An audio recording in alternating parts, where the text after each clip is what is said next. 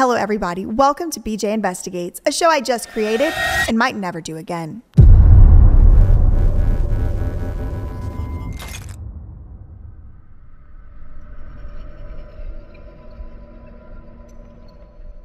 So, I have already discussed Steve-O the Clown many times before on my other channel, That Surprise Witness.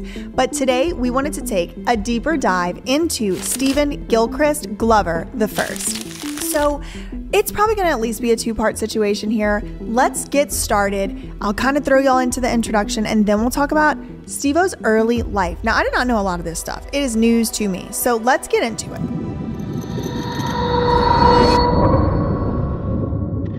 You may know him as one of the recovery bros infecting the podcast circuit, or you may know him from Jackass, an MTV franchise show from the early 2000s. While he may be attempting to silence the free BAM movement right now, he wasn't always in such volatile relationship with the Jackass fans. Back in the early 2000s, Steve-O was a fixture of the entertainment industry, and with that came fame, money, power, and tons and tons of drugs. While Steve-O says he's sober now, there were some very, very dark years during Steve-O's rise to fame where Steve-O was quite literally destroying his human body. The human one, specifically. Probably the astral, the light, all of them, the Merkaba, probably destroying a lot of the bodies, but specifically the human one as well. The show he was on was a big hit on MTV, thus, the movies and TV spin offs kept rolling, and by proxy, the injuries to the Jackass cast kept rolling as well. Even with multiple injuries under Steve-O's belt, the show had to keep going on. Sacrificing his already broken human body time and time again for the entertainment of Viacom's properties. The Jackass machine was pushing Steve-O to the point of no return, and he nearly died multiple times. It's a wild chance that Steve-O is even still alive. On June 13, 1974, wow, that was a long time ago. The man's old. In Wimbledon, England, a wealthy couple named Richard and Donna Glover welcomed Stephen Gilchrist Glover into the world as their firstborn son. When Stephen was just six months old, his family took up and left for Brazil because his father's job as the South American director of Pepsi Cola. Now, Steve-O's childhood was full of traveling. Before high school, Steve-O had lived in Venezuela, Connecticut, Florida, back to England, Canada, England again. Needless to say, Steve-O grew up extremely wealthy. However, this had a price tag of never spending any time with his father, and growing up with a full service staff instead of a family. His father was away and his mother was an alcoholic. She even fed Steve-O alcohol to calm him down as a baby. Each time Steve-O would move, he would take it as a shot at being cool at a new school. Sadly, this did not always work out in his favor. As he started growing older, Steve-O would begin acting out. One of these instances was on October 25th, 1987, when Steve-O scoured the yellow pages, found out where his favorite band, Motley Crue, was staying, and met his idol, Tommy Lee. On October 25th, 1987, when Motley Crue came to Toronto on Girls, Girls, Girls tour, I figured out the name of their manager, and I called every single hotel in the yellow pages asking for Doc McGhee's room. So I was 13 years old when I met Nikki Sixx and Tommy Lee. Tommy, dude, we might not get another chance. Yeah, dude, come on. Good to see you. Yeah, dude, finally, man. I haven't seen you since 1987. This was a major turning. Wasn't he also one of those creepers that had like a 13 year old girlfriend too, Tommy Lee? That is disgusting. I learned that from a deep dive. If I learned it, it was probably on YouTube. This was a major turning point for Steve-O as he realized the world was truly at his fingertips. Right as he was beginning to get more and more rebellious, he also discovered skateboarding. Yeah, I went to high school at the American School in London, England, all four years of high school. Well, when I was 15 years old, I, my dad won a video camera in a golf tournament. So he just kind of stuffed it in his closet. As soon as I took that camera away from my dad, like we were off to the races making skateboard videos all over London, England. And by the time he noticed it was missing, I had already made like home edited, you know, like skate videos. And I just showed them to my dad and he was super psyched. He was actually glad I stole the camera, I think, because You know, the seldom times when I ever showed any actual initiative to, you know, be motivated on my own. When Steve puts his mind to something, to do something, he can do anything that he wants to do. Uh, the problem is that that's a fairly narrow slice of the pie. so it starts off, it's not that terribly good quality. My, my way of editing was to record. I mean, my way of editing for years, you know, like all the way up to like when Jackass started, like I was editing back and forth on VCRs. I don't know, yeah, if, if, if I thought a trick was extra cool, you know, I would like hit pause, so they get a freeze frame whatever, you know. Steve-O began filming himself skateboarding, and this kept him out of trouble for a while. Until one day, he approached the stoner kids at school to get his first high. He loved it and started drinking more as well. This sprawled out into a full on alcohol addiction. Steve-O was struggling with multiple addictions before even leaving high school. Steve-O would attempt to take his shot at higher education, and he did actually get accepted into the University of Miami through a letter he wrote about his mom's alcoholism. He did attend the University of Miami, however, he dropped out after one year due to bad grades, destruction of property, and constant partying. If there's any one question I get asked, like by far the most, it's definitely, how'd you get into all this, you know? We're gonna retrace the steps of how it all began. Did they record? In the very beginning, like uh, when I was dropping out of University of Miami, like I didn't really have a concept of the real world. Yeah, great. Can you see good, like blood in my eye? He was now homeless and filming himself nonstop. Is this an episode of Soft White Underbelly? No, because he would be being filmed by Mark Laita and paid $40. Jumping off buildings, do. So hey, uh, Listen, and that was back in the day. That's not adjusting for inflation. Yeah, it could have been. They needed Mark needs to pay his people more. Jumping off buildings, doing skateboard tricks, and anything else to take the videos further. I started skateboarding when I was 11 years old, and I made my first video when I was 15. I was just trying to make rad skate videos, and I was okay at skateboarding, but even back then I knew the best footage was of me slamming.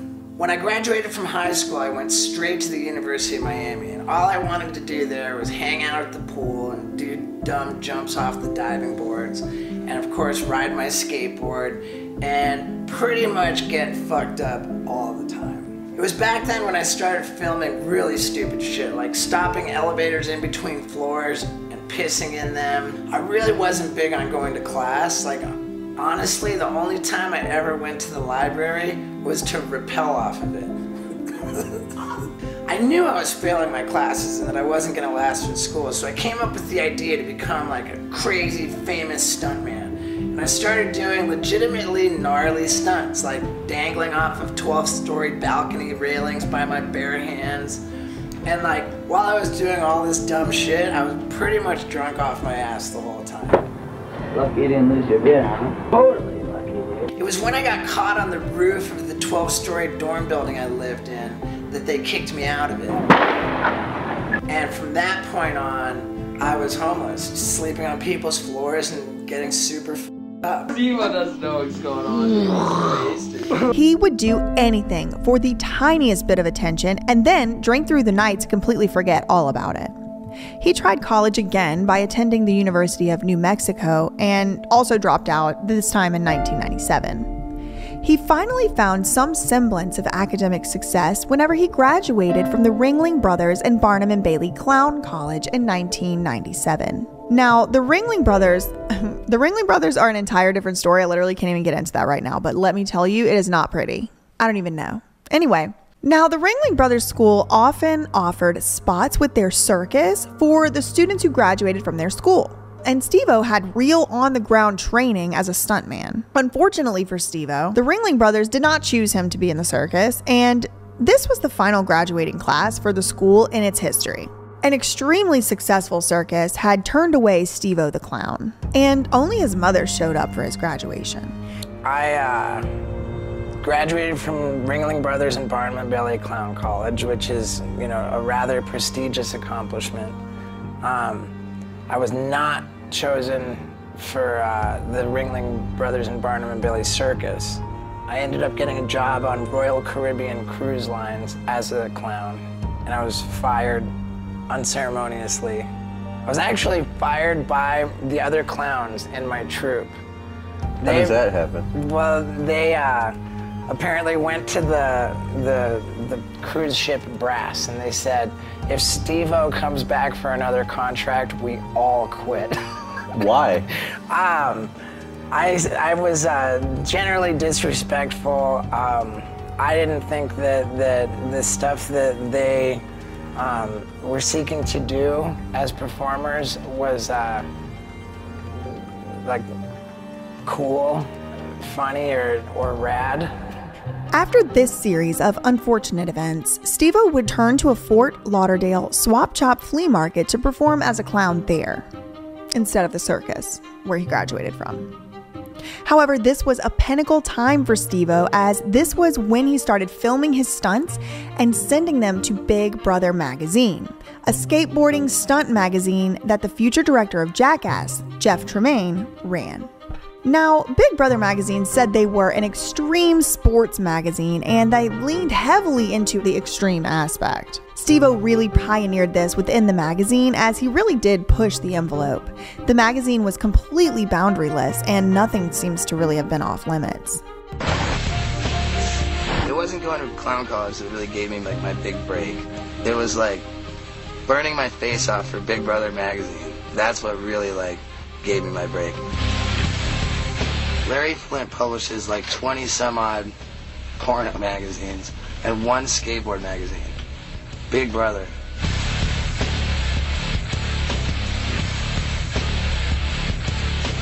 So Big Brother comes into Albuquerque on tour with a bunch of pro skaters, and Steve's at the point in his life where he's trying to get like a lot of recognition for doing stunts so he can get into magazines and stuff. Yeah, I heard the Duff's tour was coming through. I tracked their asses down. I literally, like, the Big Brother didn't know me. Like, I showed up telling them, like, whether you like it or not, you're gonna publish me. Because what I'm gonna do tonight's gonna be crazy. At a house party, backyard kegger, he uh, he gets my attention with his little fireball trick backflip thing where he ended up burning his face off. And of course, I had to write an article about that because idiots are what make Big Brother work.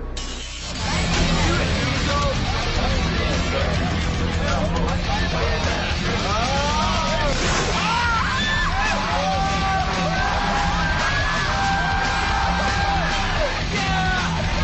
know, Chris there, figure skater. He wanted him to blow it for him, and he's never done it before, so he fucked up the first time, of course. It blew all the fluid all over Steve-O's face, so now his face is soaked with alcohol. His whole hair caught on fire, his face caught on fire, but Steve-O proceeded to uh, finish the trick after burning his face off. my face off. Dude, you gotta, you gotta go to the hospital. Yeah, yeah, yeah, we do. Your rubber? Your hair's fried. Yeah, your hair is gone. You know? My face is gone. Oh, Steve You right? Nah, not even. Steve-O, feel my face. See, I'm fine. Steve burned his face so bad he ended up looking like Freddy Krueger. It's horrible. That's the first time that the world, the skate community, knew about Steve-O. Still, the next time Big Brother came through Albuquerque, I had to try and track him down. But uh, soon enough, they were calling me to let me know like when our paths would cross. You know, I just had a good relationship with Big Brother. First time I met Steve-O was on the Big Brother Florida trip. And uh, we went straight to his house. We're all excited to meet him. I've seen all this footage of him. And he'd pretty much been calling me every day before it. And this butt nut just starts going crazy. Blah, blah, blah, what is this? Blah, blah, a backflip fireball. Blah, blah, blah, blah, blah, blah. You know, I'm pretty psyched. That just after about 20 minutes, I just had to get the fuck away from this guy. So we jumped in the van and we tried to ditch him. But uh, he wasn't to let that happen. He knew that he was going to get on the video. And uh, pretty much from then on, we've had gold with it. He began sending in tricks that weren't necessarily the most technical and maybe didn't require any talent at all, but they were very extreme and they did get the biggest reaction. After all, in clown college, the way that they would grade the clowns was based on the audience's reaction. And we already know from Steve-O's early childhood that he was obsessed with making people like him. So it, it all makes sense that these are the type of tricks he would be doing. Also, he's obviously talentless, so the only thing he could possibly do is tear up his human body for other people's entertainment. It's like a modern day gladiator. Cute, but no talent. I started skateboarding when I was 11 years old, and I made my first video when I was 15. I was just trying to make rad skate videos, and I was okay at skateboarding, but even back then I knew the best footage was of me slamming. When I graduated from high school, I went straight to the University of Miami, and all I wanted to do there was hang out at the pool do dumb jumps off the diving boards, and of course ride my skateboard, and pretty much get fucked up all the time. It was back then when I started filming really stupid shit, like stopping elevators in between floors and in them. I really wasn't big on going to class. Like, honestly, the only time I ever went to the library was to rappel off of it. I knew I was failing my classes and that I wasn't gonna last in school, so I came up with the idea to become like a crazy famous stuntman and I started doing legitimately gnarly stunts, like dangling off of 12 story balcony railings by my bare hands. And like, while I was doing all this dumb shit, I was pretty much drunk off my ass the whole time. Lucky you didn't lose your bid, huh? Totally lucky, dude. It was when I got caught on the roof of the 12 story dorm building I lived in that they kicked me out of it. And from that point on, I was homeless, sleeping on people's floors and getting super fucked Steve doesn't know what's going on. Once I was homeless, it became even more important to me to film super disturbing, crazy shit. Steve oh, O's dead and there's gonna be trouble. Oh. I also got injured quite a bit and sometimes seriously badly, you know.